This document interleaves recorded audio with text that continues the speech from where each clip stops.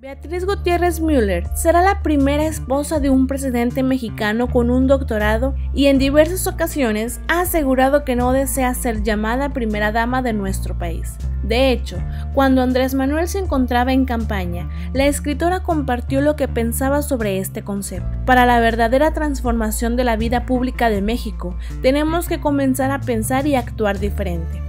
Pongamos fin a la idea de la primera dama. En México no queremos que haya mujeres de primera ni de segunda. Con todo respeto a las mujeres que han estado antes en ese papel, decir primera dama es algo clasista, aseguró Müller. Y continuó, la compañera de un presidente debe participar en todo lo que pueda hasta un límite. No hablo para nada de una esposa que se convierte en una sombra complaciente, silenciosa o dócil ante un sistema que perpetúa las desigualdades, explicó.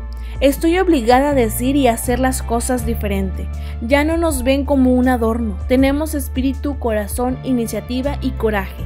Vamos a feminizar la vida pública.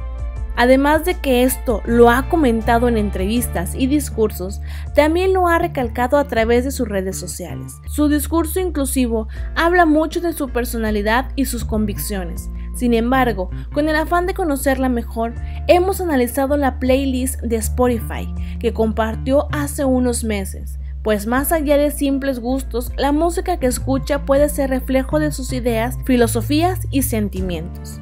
Las primeras canciones que tiene Mueller en su playlist son How Can I Tell You de Cat Stevens y Memory de Bárbara. La primera es una canción de desamor y la segunda es una de las versiones más populares de Cats, el musical. La canción es una remembranza nostálgica acerca de su glorioso pasado y una declaración de sus deseos por comenzar una vida nueva. Aunque estas canciones pueden encajar poco con su situación, pues ha tenido una carrera destacada como periodista, escritora y experta en artes y además parece tener un matrimonio estable con el presidente electo de México, podrían mostrar un profundo sentimiento de nostalgia y empatía con los sentimientos de los demás, cualidad indispensable en una figura pública que busca tener afinidad con la sociedad.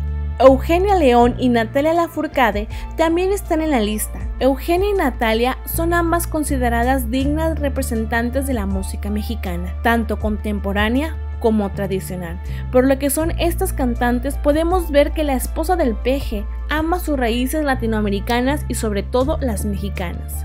Los Ángeles Azules y su icónica canción ¿Cómo te voy a olvidar? Esta melodía podría ser un guiño de que también le agrada a la fiesta.